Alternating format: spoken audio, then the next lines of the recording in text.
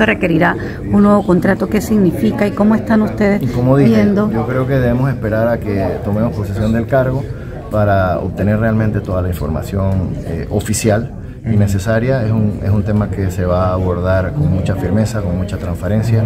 Eh, el tema de abrir para cerrar es lo que ha mencionado el presidente y nosotros vamos a hacer todo de forma transparente y responsable. También dijo el presidente que era necesario que se suspendiera cualquier arbitraje internacional y conflicto que tengan las empresas contra Panamá. Yo creo que eso todo va a ser parte eh, del análisis que se haga y como siempre lo hemos dicho, vamos a ser transparentes y de cara al pueblo panameño toda la información la vamos a transmitir, la vamos a comunicar de la forma correcta para que no hayan dudas ni suspicacias respecto al tema.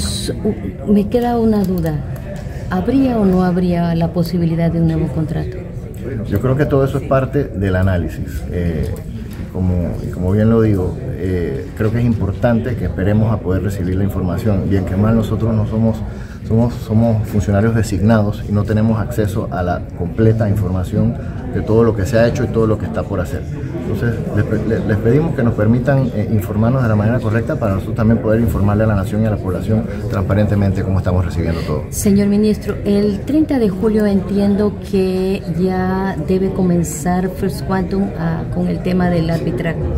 Ustedes ya, yo sé que no han tomado posesión, pero ya han iniciado, digamos, el nombramiento de un equipo para la defensa de los derechos Nosotros no podemos hacer eso porque no somos gobierno, no sé si me explico. Entonces yo creo que el gobierno actual tiene ya una serie de abogados contratados y tiene eh, esto en la, en, el, en la línea de trabajo y yo creo que el deber de nosotros es empaparnos de qué están haciendo y nosotros analizar para ver qué cambios debemos hacer o cómo debemos actuar. ¿Qué estrategia tiene previsto desde el MISI para el tema de los semiconductores? Se habla de esta industria que es enorme, que tiene potencial, pero ¿cómo pretenden atraerlos? ¿Cuál es Bueno, yo creo visión que lo más eso? importante respecto a eso y lo que compete a Panamá es lo que se llama el nearshoring. Yo creo que el ensamblaje aquí es una cosa que tiene muchas oportunidades.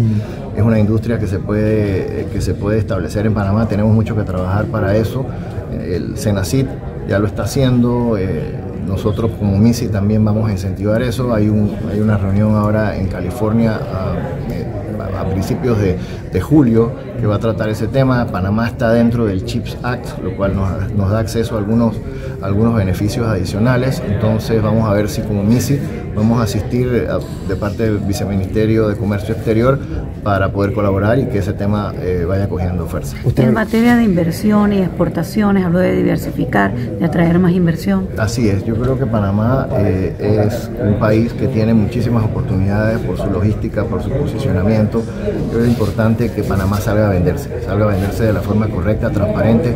Como lo dije hace un rato, nosotros eh, no vamos a permitir amiguismo, no vamos a permitir coimas y corrupción, las reglas transparentes eh, del juego para que los empresarios puedan venir a invertir a Panamá, ir afuera, vender nuestro país, nuestra marca país al más alto nivel y traerlos de la mano del gobierno panameño para poder cerrar y que vengan a invertir en Panamá. ¿Cómo se pretende acercarlo a las MIPIMES? Porque es un sector que está muy golpeado y que genera mucho empleo. ¿Cómo Ahí está mi gran amigo y el director de Ampime, eh, Raúl Fernández, que va a hacer un gran trabajo. Ahí hay un gran proyecto, él ya me hizo una presentación que se le está enviando al presidente de la República para, para activar esa institución de la manera más, más, más correcta.